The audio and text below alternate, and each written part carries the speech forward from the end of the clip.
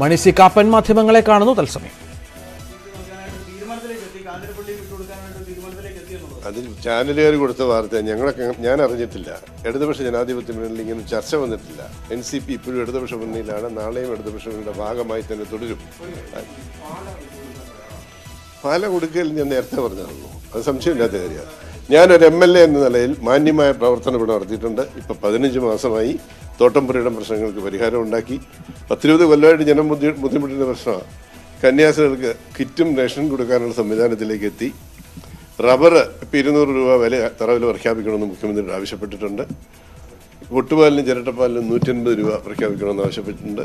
മുഖ്യമന്ത്രിയും ധനകാര്യമന്ത്രിയും P W D മന്ത്രിയും റവന്യൂ മന്ത്രിയും എന്നുവേണ്ട എല്ലാ മന്ത്രിമാരും പാലയെ അകമൊഴിഞ്ഞ് സഹായിച്ചിട്ടുണ്ട്.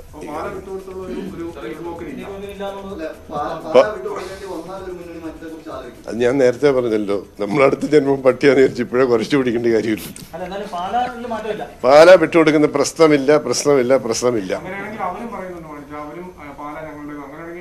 അതിങ്ങനെ പാല അവരുടേതാണ് ഞാനല്ല ജയിച്ചത്. അൻപത്തിരണ്ട് അമ്പത്തിമൂന്നര കൊല്ലത്തെ കാത്തിരിപ്പിന് ശേഷം ഇടതുപക്ഷ ജനാധിപത്യ മുന്നണി യുദ്ധം ചെയ്ത് പിടിച്ചെടുത്താണ് ഈ സീറ്റ്. ദേശീയ നേതൃത്വം അങ്ങനെ തന്നെയാണ് പറഞ്ഞേക്കുന്നത്. പാലാ എന്നല്ല ഞങ്ങൾ ജയിച്ച ഒരു സീറ്റും വിട്ടുകൊടുക്കുന്നില്ല എന്ത് തീരുമാനം എൻ സി പി നിൽക്കുമോ എന്ത് തീരുമാനം എടുത്താലും എൻ സി പി ഒറ്റക്കെട്ടായി നിൽക്കും. അതിനെ സംശയം. ഞങ്ങളുടെ ഒരു ദേശീയ പാർട്ടിയാണ്. ഞങ്ങളുടെ ഒരു ദേശീയ പാർട്ടിയാണ്. ഏഴ് എം പിമാർ ലോക്സഭയിലും ഏഴ് എം പിമാർ രാജ്യസഭയിലുള്ള പാർട്ടിയാണ് സത്യത്തിൽ ഇപ്പോൾ കേരളത്തിലെ വലിയ പാർട്ടി ഞങ്ങളാണ് അല്ല ഈ വിഷയത്തിൽ നല്ല ഞങ്ങൾ പോകാതെ പൊതുവെ അദ്ദേഹത്തെ സമീപിക്കുന്ന കാര്യങ്ങളിൽ മാന്യമായ സമീപനം തന്നെയാണ് അദ്ദേഹം നടത്തി തന്നിട്ടുള്ളത്. ഇപ്പോഴും ഈ കാര്യങ്ങളിലും ഈ സീറ്റ് വിട്ടു കൊടുക്കണ്ട എന്നുള്ള നിലപാടിൽ തന്നെയാണ്.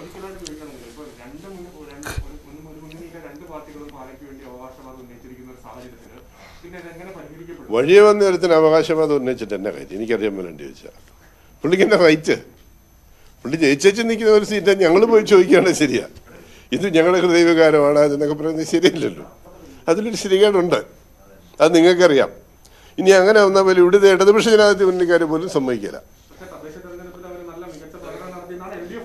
എവിടെ നടത്തിയെന്ന് എവിടെ നടത്തിയെന്നാ പറഞ്ഞൊന്ന് പറഞ്ഞുതരാം പതിനേഴ് സീറ്റ് പാലായിലുണ്ടായിരുന്നു. അത് പത്തായിട്ട് ചുരുങ്ങി. തലനാട് മൂന്ന് സീറ്റ് ഉണ്ടായിരുന്നു ഒരു സീറ്റായിട്ട് ചുരുങ്ങി. ഞങ്ങളുടെ സ്ഥാനാർത്ഥികൾ ഞങ്ങൾ നിന്ന് ഒരു ഒൻപത് പേര് ഇവിടെ ജയിച്ചിട്ടുണ്ട് ഞങ്ങൾക്ക് രണ്ട് സീറ്റാണ് തന്നത്. അല്ല തന്നില്ലെങ്കിൽ എന്നുള്ള ക്വസ്റ്റ്യൻ ഇല്ല. ഞങ്ങളുടെ ഇരിക്കുന്ന സീറ്റ് കൊടുക്കണമെന്ന് ഞങ്ങളോട് ആരും ആവശ്യപ്പെട്ടു.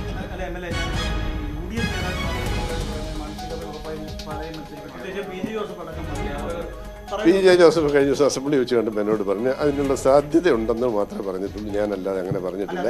അത് ചാനലുകാർ ഇട്ട ഇട്ടതാണെന്ന് പുള്ളി എന്നോട് എന്നോട് ഒന്ന് പറഞ്ഞു അങ്ങനെയാണ് മാധ്യമങ്ങളോട് പറഞ്ഞു അതിനുള്ള സാധ്യത തള്ളിക്കളയാൻ മേലെന്നേ പറഞ്ഞു അത് അത് അവരുടെ താല്പര്യമായിരിക്കും ഞങ്ങൾ ഏതായാലും. യു ഡി എഫിലെ ഒരു ഘടകകക്ഷി നേതാവിനോടോ യു ഡി എഫിലെ മേൽത്തട്ടിലുള്ള നേതാക്കളോടോ ഈ കാര്യം ഞങ്ങൾ ചർച്ച ചെയ്തിട്ടില്ല. അനൗദ്യോഗികമായി യാതൊരു ചർച്ചയും നടന്നിട്ടില്ല. അവരെല്ലാവരും തമ്മിൽ നമ്മളെല്ലാം തമ്മിൽ വ്യക്തിബന്ധമുള്ളതല്ലേ എനിക്ക് കോൺഗ്രസ്സുകാരായിട്ടും. സ്വാഗതം ചെയ്യാനുള്ള സ്വാതന്ത്ര്യം അവർക്കുള്ളതല്ലേ? അത് നിഷേധിക്കാൻ പറ്റുമോ നമുക്ക്? ഇല്ല അവരഭിപ്രായം പറഞ്ഞോട്ടെ. ഇവരഭിപ്രായം പറയണ്ട. ഞാൻ ഞാൻ ജയിച്ച സീറ്റാണ്. ഇടതുപക്ഷ ജനാധിപത്യ മുന്നണിയുടെ സീറ്റാണ്. ഞാൻ ഇടതുപക്ഷ മുന്നണി സ്ഥാനാർത്ഥിയായിട്ട് തന്നെ ഉണ്ടായിട്ടുണ്ടോ?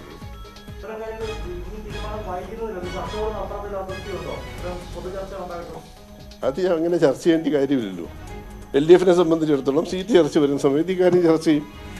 അല്ലാണ്ട് ഞാൻ അങ്ങോട്ട് ഞങ്ങൾക്ക് സീറ്റ് തരാവോ? എന്ന് എനിക്ക് ചോദിക്കേണ്ട കാര്യമില്ല. ഞാൻ ജയിച്ച സീറ്റ് തന്നെ ഇത്. ഒരു മാറ്റം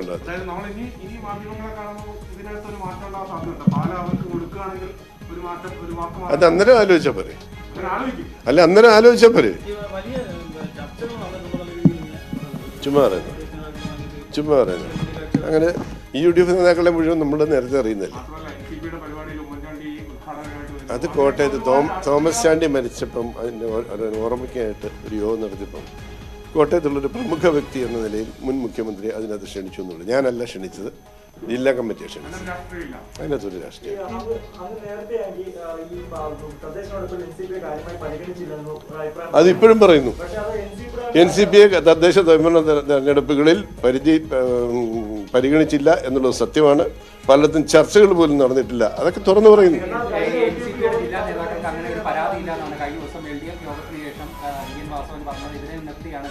അത് നിങ്ങൾ എൻ സി പിയുടെ നേതാക്കളോടല്ലോ ചോദിച്ചു വി എൻ വാസനോടല്ലേ ചോദിച്ചു പുള്ളിക്ക് പുള്ളിക്ക് അങ്ങനെ തോന്നി കാണിയാലായിരിക്കും. പക്ഷെ ഞങ്ങൾക്ക് തോന്നിയിട്ടുണ്ട്.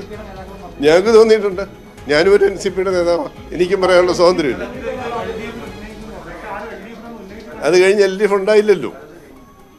ഈ തദ്ദേശ സ്വയംഭരണ സ്ഥാപനങ്ങളിലെ തെരഞ്ഞെടുപ്പിന് ശേഷം ഒരു എൽ ഡി എഫ് യോഗം നടന്നില്ലല്ലോ. ആ യോഗത്തിൽ ഉന്നയിക്കും തീർച്ചയായും.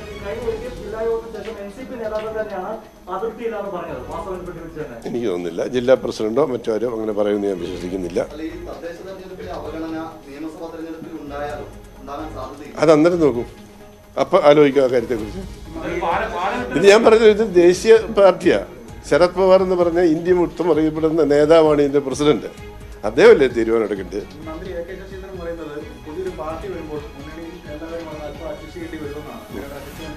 പുള്ളിക്ക് ബാലുശ്ശേരി കൊടുക്കാനുള്ള എല്ലാ സ്വാതന്ത്ര്യമുണ്ട് രണ്ടു മൂന്ന് പ്രാവശ്യമായിട്ട് പുള്ളി മത്സരിച്ചു അദ്ദേഹം കൊടുക്കട്ടെ ഒരു കുഴപ്പമില്ല.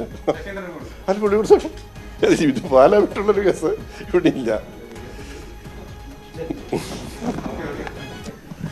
പാല വിട്ടുകൊടുക്കില്ല എന്ന് ആവർത്തിക്കുന്നു മാണി സി കാപ്പൻ. പക്ഷേ അപ്പോഴും ഇടതുമുന്നണിയിൽ താൻ ഉറച്ചു നിൽക്കും. പാലായിൽ ഇടതുപക്ഷ സ്ഥാനാർത്ഥിയായി വീണ്ടും മത്സരിക്കും. ആ തരത്തിലാണ് ഇപ്പോൾ ചർച്ചകൾ പുരോഗമിക്കുന്നത് എന്ന് തന്നെ പറയുന്നു. പക്ഷേ എൽ ഡി എഫിൽ സംബന്ധിച്ച് യാതൊരു ചർച്ചയും നടന്നിട്ടില്ല. പാലയുടെ കാര്യത്തിൽ ഒരു വിട്ടുവീഴ്ചയുമില്ല എന്ന കാര്യത്തിൽ ഉറച്ചു നിൽക്കുകയാണ് മാണി സി കാപ്പൻ. നേരത്തെ എ കെ ശശീന്ദ്രൻ പറഞ്ഞത് സീറ്റ് ചർച്ചകൾ ആരംഭിച്ചിട്ടില്ല.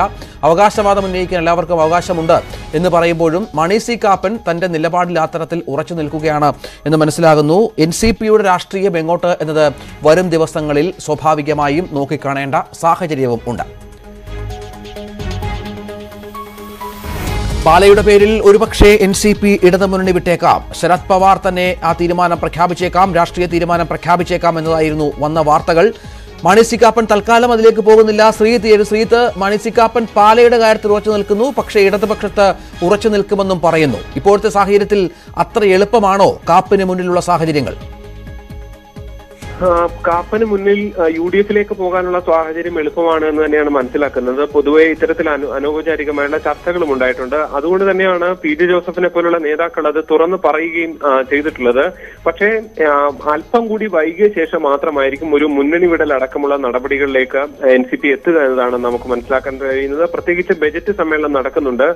പാലയ്ക്ക് വേണ്ടി നിരവധി ആവശ്യങ്ങൾ കാപ്പൻ സർക്കാരിനോട് മുന്നോട്ട് വെച്ചിട്ടുണ്ട്. അപ്പോൾ അതൊക്കെ നേടിയെടുക്കുക അത്തരത്തിൽ കഴിഞ്ഞ കുറച്ച് നാളുകൾ മാത്രമേ ഉള്ളൂ എങ്കിലും കൃത്യമായി നടത്തിയ പ്രവർത്തനം കൂടി മുന്നോട്ട് വെച്ച് തെരഞ്ഞെടുപ്പിൽ നേരിടാനാണ് കാപ്പന്റെ ഒരു തീരുമാനം. എന്തായാലും ഇത് സംബന്ധിച്ചുള്ള ചർച്ചകൾ എൻ സി പിയിലും യു ഡി എഫിലും നടന്നിട്ടുണ്ട് എന്ന കാര്യത്തിൽ യാതൊരു സംശയവുമില്ല. ഇപ്പോഴത്തെ കാപ്പന്റെ പ്രതികരണം നിലവിലെ സാഹചര്യത്തിൽ അങ്ങനെ മാത്രമേ പ്രതികരിക്കാൻ കഴിയൂ എന്നതുകൊണ്ടാണ്. കാപ്പൻ കൃത്യമായി ഒരു ഉടക്ക് എന്ന നിലയിൽ തന്നെ പറയുന്ന കാര്യമാണ് പാലാ സീറ്റ് വിട്ടു നൽകില്ല എന്ന കാര്യം. അത് കുറച്ച് മുൻപ് തൊട്ട് തന്നെ. സാധാരണ ഒരു സീറ്റ് എൽ ഡി എഫിലെ അങ്ങനെ ഘടകകക്ഷികൾ ഇത്രത്തോളം ശക്തമായി നിന്ന് പറയാറില്ല. അതെല്ലാം പറയുന്നത് കാപ്പന്റെ ഒരു സൂചന തന്നെയാണ്. നമുക്കറിയാം ജോസ് കെ മാണി വലിയ വിജയം ഈ തെരഞ്ഞെടുപ്പിൽ നേടിയൊരു സാഹചര്യം കൂടിയുണ്ട്. ആ ഇതിനെ തള്ളിക്കൊണ്ടാണ് കാപ്പൻ ഈ നിലപാട് പറയുന്നത്. അതായത് ഈ കോട്ടയത്തെ മറ്റു പ്രദേശങ്ങളിലെ രാഷ്ട്രീയ സാഹചര്യം കൂടിയല്ലോ ശ്രീജിത്ത്? എന്ത് ഗുണം കിട്ടി ഈ പറഞ്ഞതുപോലെ ജോസ് കെ മാണി വന്നതുകൊണ്ട്? ഈ പറഞ്ഞ വിജയമൊന്നും അവിടെ സംഭവിച്ചില്ല എന്നും പരോക്ഷമായി പറഞ്ഞു വെക്കുന്നുണ്ട് കാപ്പൻ. തീർച്ചയായും അതുണ്ട്.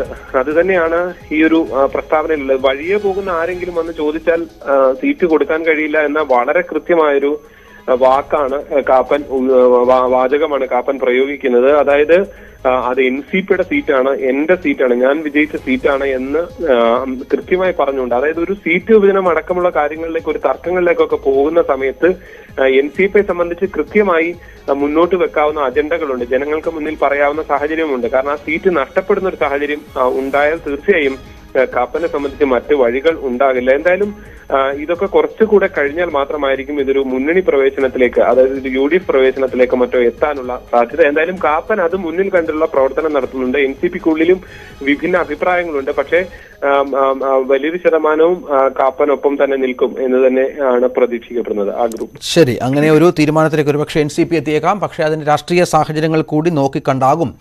പ്രഖ്യാപനം ഏതായാലും ചർച്ചകൾ നടക്കുന്നുണ്ട്.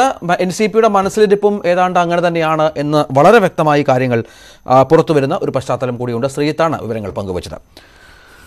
നമുക്ക്